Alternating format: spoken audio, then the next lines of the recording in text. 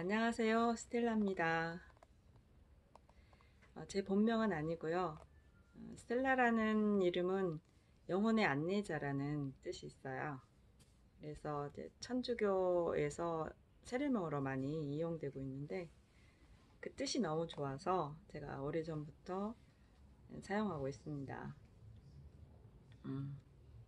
제가 명상을 시작하게 된 계기는 20대에 인생에 대해서 목표를 가지고 어, 직업을 선택하고 그 준비를 하는 그 시점에 저는 어, 너무 이제 철학적인 화두가 제 마음에 들어왔어요. 네, 철학적인 화두라면 음, 너무 근원적으로 과연 내가 원하는 삶은 무엇이고 나는 어떻게 살고 싶어 하는지 너무 궁금했고 또 나는 무엇인가 라는 고민까지 그때부터 하게 된 것 같아요. 그 방법으로 어, 명상이라는 것에 관심을 갖고 또 하게 됐죠.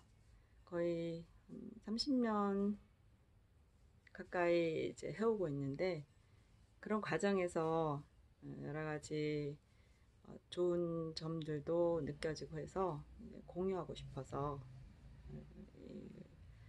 이, 비디오를 영상을 만들게 됐어요. 음.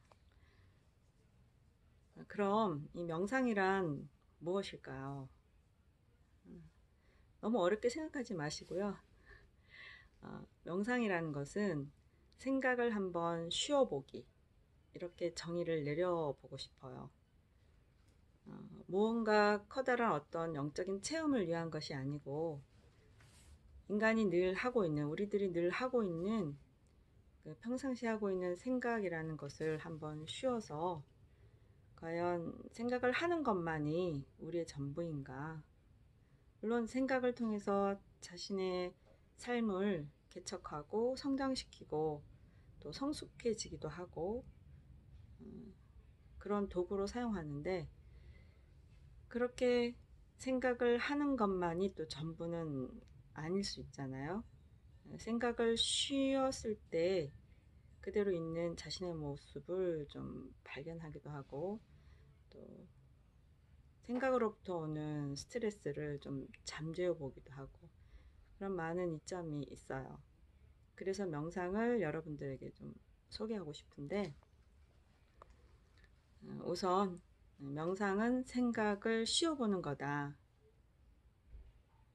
라는 관점을 가지고 그런 관점에서 우리 같이 짧은 시간에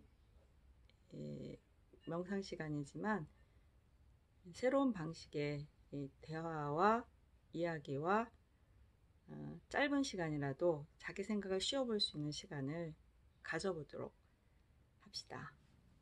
감사합니다.